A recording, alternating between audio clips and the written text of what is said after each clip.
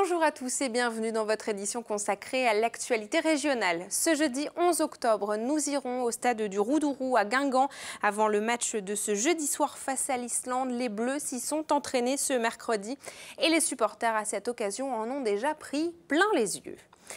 La ministre des Armées Florence Parly était à l'île Longue ce jeudi matin. Elle est venue rendre hommage aux sous-mariniers.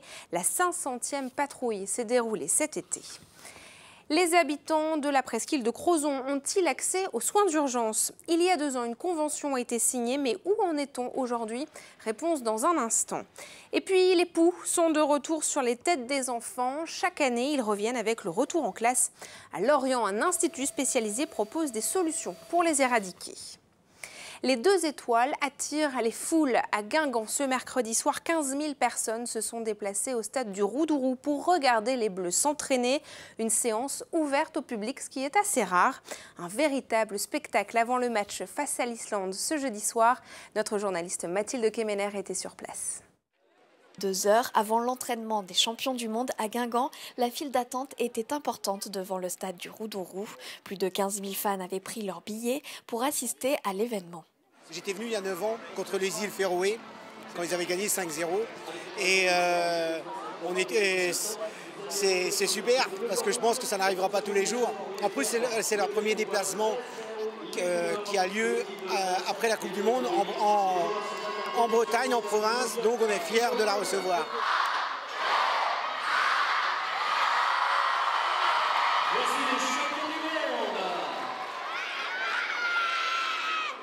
Les plus jeunes fans étaient émerveillés de voir certains joueurs.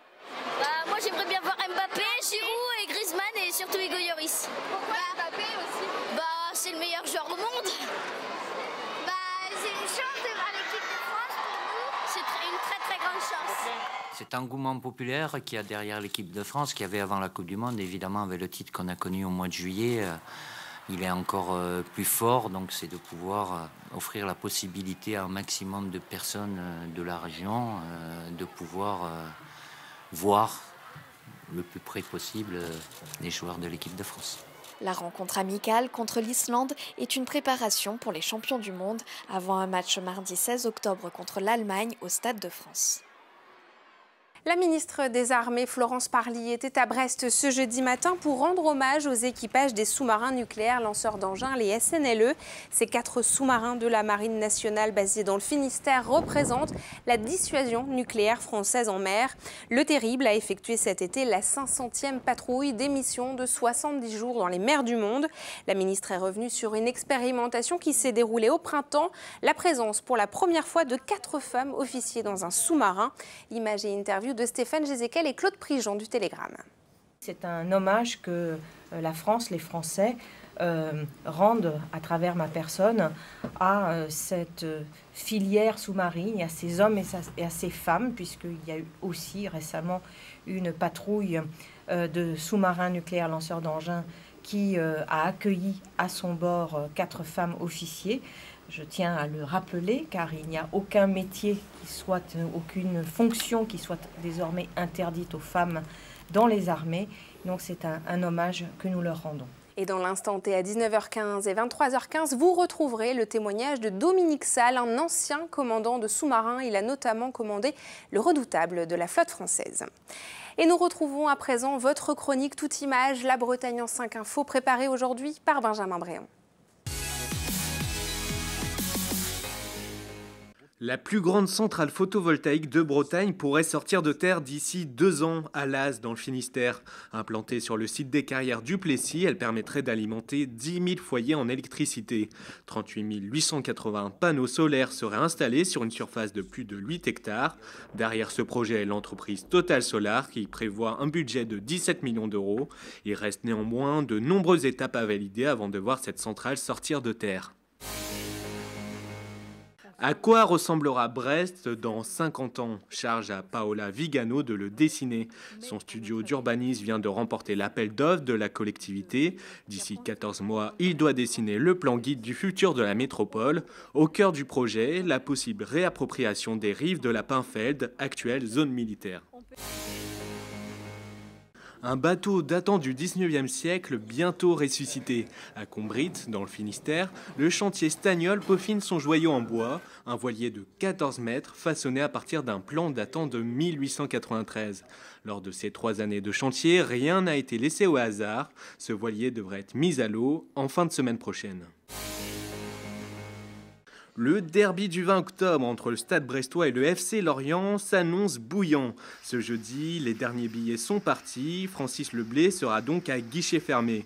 Il ne faudra surtout pas perdre pour les Brestois, troisième du championnat, et qui n'ont qu'un seul poids d'avance sur les Merlus. Le dernier match à guichet fermé à Francis Leblé remonte à 2012. Les Brestois recevaient alors le PSG. À Saint-Brieuc, on prépare Noël dès le mois d'octobre. Histoire de ne pas être pris de court, la commune commence déjà à installer les décorations de fin d'année, de quoi donner un peu de baume au cœur aux briochins qui ne pourront plus oublier d'acheter leurs cadeaux en avance. Et nous parlons à présent santé et surtout urgence médicale. La presqu'île de Crozon fait partie des zones du Finistère à être située à plus de 30 minutes d'un service d'urgence. Après une pétition en 2016 pour raccourcir ce délai, les autorités avaient proposé une solution. Mais deux ans plus tard, où en est-on? Regardez le reportage de Frédéric Lorenzon. Le 18 mai 2016, première nationale en mérite Crozon. L'armée et l'Agence régionale de santé de Bretagne signent une convention pour les urgences médicales dans la presqu'île de Crozon. Cinq médecins militaires affectés à l'Envéoc et à l'île Longue deviennent correspondants SAMU, une solution pour sortir la presqu'île de la zone blanche, c'est-à-dire une zone à plus de 30 minutes de route d'un service d'urgence médicale. En 2014, ce délai avait coûté la vie à un habitant victime d'une crise cardiaque. Ses amis s'étaient alors mobilisés, lançant une pétition et recueillant 3000 signatures pour la création d'un service d'urgence médicale. Euh, la convention n'a jamais été mise en place. Normalement, les médecins militaires devaient rentrer dans la boucle pour assurer les urgences de nuit. À Crozon, jusqu'en 2012, les médecins libéraux effectuaient des gardes de nuit.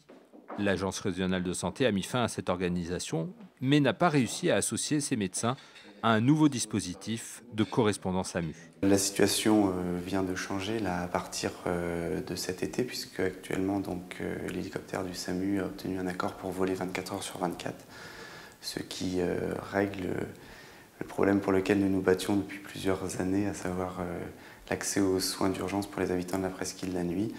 Seulement, la solution coûte cher, 3000 euros l'heure de vol, et le nombre de vols s'accroît d'année en année. C'est que l'hélicoptère, il ne nous est pas dédié, bien évidemment. Euh, en fonction des conditions météo, euh, il peut voler ou pas voler euh, suivant s'il y a trop de vent, s'il y a du brouillard. nous, de notre point de vue, et ce qui avait été signé dans la Convention, c'est d'avoir un médecin correspondant SAMU sur la presqu'île. Cet élu d'opposition avait proposé une autre organisation avec des médecins locaux correspondant SAMU. Le budget de l'opération annuelle avait été chiffré à 250 000 euros en comptant les frais de garde et les frais d'intervention, parce qu'évidemment, quand on travaille la nuit, on mérite d'être rémunéré. Euh, l'achat d'un véhicule équipé pour permettre l'intervention, on était à 250 000 euros. Désormais, le lien vital pour la presqu'île de Crozon est l'hélicoptère. L'expérimentation doit cesser en novembre. Reste à savoir si le recours à cet hélicoptère sera pérennisé. Santé toujours et le médecin le plus médiatique de France, Michel Simès, était dans le Morbihan ce mercredi soir. Il a animé à Lorient une conférence sur le bien vieillir dans le cadre de la Semaine bleue consacrée aux personnes âgées. Avant cette conférence, 900 personnes l'attendaient dans une librairie de la ville pour une séance de dédicace. Nous en avons profité pour lui demander trois conseils pour bien vieillir. Écoutez Michel Simès au micro de Karine Chevrolier. Le premier conseil, c'est de ne pas vivre seul. C'est d'essayer de s'entourer, de parler, de sortir, d'avoir des amis. Parce qu'on sait que la solitude est une catastrophe pour, la, vieillesse. Euh, le deuxième conseil, c'est pour moi mon cheval de bataille, eh ben, c'est l'activité physique. Bougez-vous, faites 6000 pas par jour, marchez 30 minutes un peu plus rapidement euh, dans la journée euh, que vous ne le faites d'habitude. Et puis, mangez équilibré parce que souvent il y a des personnes âgées qui euh, perdent de l'appétit, qui ne mangent pas, qui se retrouvent toutes seules, qui n'ont pas envie de se préparer des petits plats et qui finissent par dépérir parce qu'elles ne se nourrissent pas assez. Or, tout ce que je vous ai dit avant n'est possible que si on se nourrit et qu'on fait rentrer le carburant. Et à noter que la conférence de Michel Simès sur le bien vieillir sera retransmise sur les antennes de TB Sud et de TBO le 20 octobre prochain à 20h45. Voici à présent un problème bien connu des parents à chaque retour en classe de leurs enfants, les poux. Pour traiter euh, ces invasions, de nombreux produits existent en pharmacie, mais une autre alternative se développe sur l'Hexagone, les centres anti-poux qui, euh, qui promettent de se débarrasser de ces insectes en deux étapes. Un établissement vient d'ouvrir à Lorient, Karine Chevrolier. Si cet aspirateur fonctionne à plein régime, ce n'est pas pour la poussière, mais bien pour les poux. Là, c'est ce qu'on a attrapé sur la moitié de la tête. C'est la première étape du traitement proposé ici pour les éradiquer. D'abord, on passe un aspirateur avec un peigne fin au bout pour enlever tous les poux. Ensuite, on passe un peigne microcanalisé avec du soin à la coco, donc vraiment que des produits naturels. On va dégrossir toutes les lentes. Et en dernière étape, on va passer euh, à la loupe. On prend tous les, toutes les mèches une par une et on enlève toutes les lentes restantes une par une. Ce tout nouveau centre anti-poux promet d'en venir à bout en deux séances à une semaine d'intervalle. Si cette maman en a franchi la porte, c'est après de nombreuses tentatives infructueuses. Lotion, shampoing, spray, tout y est passé. Pas mal quand même. Surtout enfin, les nouveautés qui sortent en pharmacie. Tout est juste à poser sur le cheveu euh, sec. Et puis après, euh, bah moi je mettais un bonnet, puis je laissais agir la nuit, quoi. Mais les poux ont la dent dure. Ils s'attrapent par contact direct, notamment à l'école.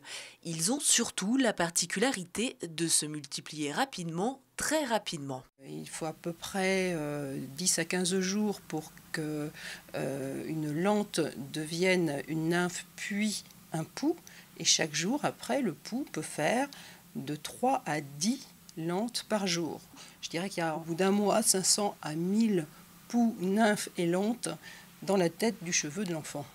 La présence de poux n'est pas liée à l'hygiène et pour les pharmaciens, les traitements restent efficaces si on les utilise de manière régulière. Le centre anti-poux propose donc une alternative aux parents, coût total de la prestation de 32 à 92 euros. Et c'est la fin de cette édition. Ce soir, dans votre magazine L'Instant T, Sophie Le Croisier revient entre autres sur l'agriculture biologique en Bretagne.